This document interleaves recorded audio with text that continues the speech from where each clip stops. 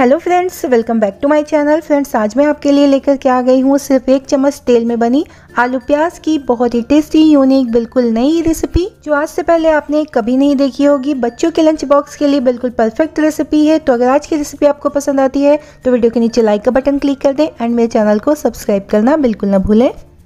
तो आप देख सकते हैं फ्रेंड्स मैंने यहाँ पे एक मीडियम साइज़ का कच्चा आलू ले लिया है, जिसे मैंने छील कर अच्छे से धो लिया है। अब हम क्या करेंगे फ्रेंड्स आलू को हम ग्रेटर की सहायता से ग्रेट कर लेंगे। ना तो बहुत मोटे वाले होल्स का इस्तेमाल करेंगे, ना ही बहुत बारीक वाले होल्स का इस्तेमाल करेंगे ग्रेट करने के लिए। मीडियम वाले होल्स से अच्छे से ग्रेट कर लेते हैं आलू को। इस तरह से रेसिपी काफ़ी अच्छी बनती है। तो देखिए, मैंने यहाँ पे आलू को अच्छी तरीके से ग्रेटर की सहायता से ग्रेट कर लिया है। मैं आपको दिखा देती हूँ किस तरह से अच्छे से ग्रेट हो गए हैं। तो आप देख सकते हैं, मीडियम वाले होल्स का इस्तेमाल करते हुए मैंने इन्हें ग्रेट कर लिया है। इन्हें धोना नहीं है, एक बोल में शिफ्ट कर लेंगे। तो देखिए, एक बोल में आलू को मैंने शिफ्ट कर लिया है। अब हम इसमें ऐड कर देंगे एक बड़े साइज़ का मोटा मोटा इस तरह से कटा हुआ प्याज। देखिए, बहुत बारीक नहीं कट किया है, थोड़ा सा मोटा मोटा रखना है आपको प्याज को। तो इसे ऐड कर देंगे हम। इसके साथ ही मैं इसमें आधा कप बारीक कटा हुआ शिमला मिर्च ऐड कर दूँगी। साथ ही मैं ऐड कर दूँगी आधा कप ही बारीक कटी हुई गाजर। एक बार मिक्स कर लेते हैं। यहाँ पे बच्चों की मनपसंद सब्ज़ियाँ आप ऐड कर सकते हैं। जो भी उन्हें पसंद हो, बारीक कट करके ऐड कर दें इसमें। आज की रेसिपी बहुत ही आसान, बहुत ही ज़्यादा टेस्टी है, बहुत ही कम तेल से बनी हुई है। ब्रेकफास्ट और लंच बॉक्स के लिए बिल्कुल परफेक्ट रेसिपी है। मैं हमेशा ही आपके लिए ऐसी ही रेसिपीज़ लेकर आती रहती हूँ फ्रेंड जो कि बनानी आसान होती है, कम चीज़ों से बन जाती है। और बहुत ही ज़्यादा टेस्टी और हेल्दी न्यू होती है।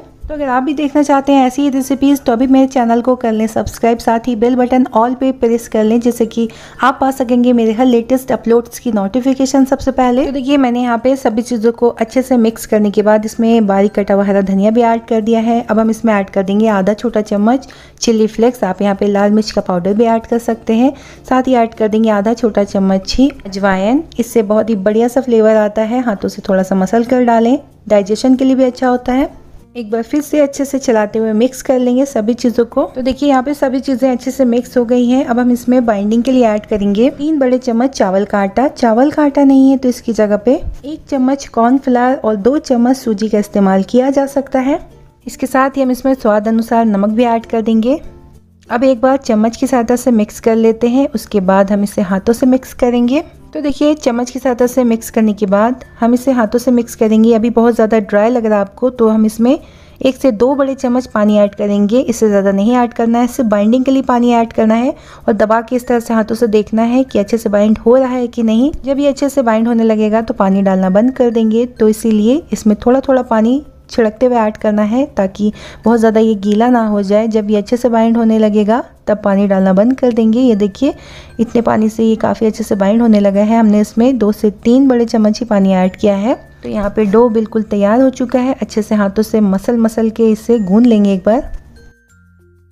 तो देखिए, हमारा डो यहाँ पे रेडी हो चुका है। अच्छे से हमने हाथों से इसे मसल लिया है। अब हम क्या करेंगे? बटर पेपर ले लेंगे। जी हाँ जिसे पार्चमेंट पेपर भी कहते हैं।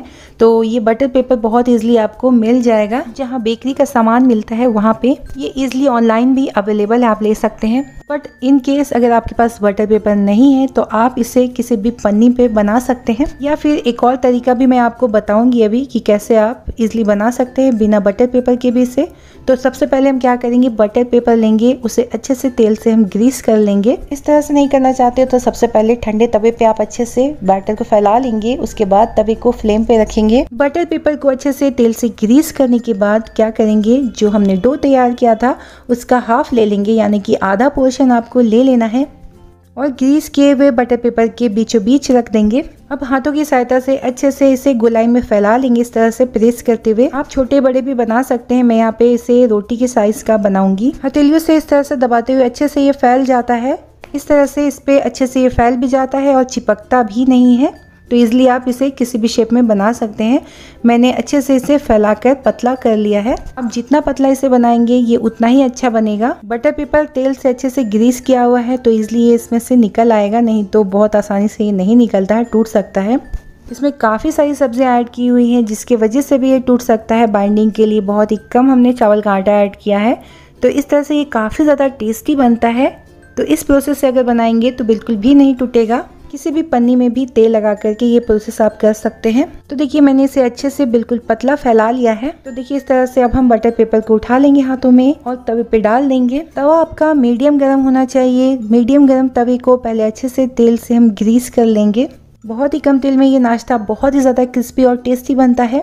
अब हम अपना नाश्ता डाल देंगे तवे पे और ऊपर से इस तरह से बटर पेपर को निकाल लेंगे। ये देखिए कितना आसान है, आप भी बना सकते हैं इसी तरह से, बहुत इजली ये बन जाता है। देखा आपने कितनी आसानी से इसमें से बटर पेपर निकल आया। अब हम इसे ढककर पकाएँगे मीडियम फ्लेम पे एक मिनट तक। मीडियम फ्लेम पे एक मिनट तक पकाने के बाद इसका ढक्कन हटा लेंगे। देखिए काफ़ी अच्छे से ये सेट हो गया है। ऊपर से एक दो बूंद तेल डाल देंगे और अच्छे से ब्रश की सहायता से फैला लेंगे, ताकि जब हम इसे पलटे तो दूसरे साइड से भी काफ़ी अच्छे से ये सीख जाए। अब हम इसे पलट देंगे। और आप देख सकते हैं नीचे की साइड से कितना बढ़िया ये सीख चुका है। बहुत ही टेस्टी बनता है, बहुत ही क्रिस्पी बनता है चावल के आटे की वजह से। देखिए कितना बढ़िया लग रहा है सब्जियों से भरा हुआ। इसे पलटने के बाद दूसरे साइड से भी चम्मच की सहायता से इसे दबाते हुए अच्छे से सेक लेंगे एक मिनट तक मीडियम फ्लेम पे। तो ये अच्छे से रेडी हो जाएगा दूसरे साइड से भी सेक करके। तब हम इसे निकाल लेंगे। ये देखिए कितना बढ़िया तैयार हुआ है। दूसरा वाला भी सेम प्रोसेस को रिपीट करते हुए तैयार कर लेंगे।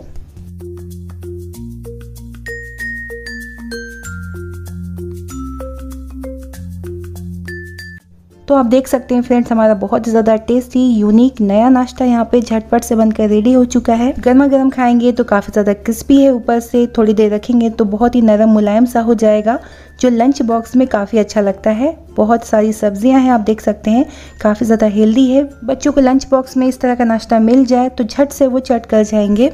तो फ्रेंड्स सभी जाइए और रेसिपी को ट्राई कीजिए। उम्मीद करती हूँ आज की ये रेसिपी काफ़ी ज़्यादा आपको पसंद आई होगी।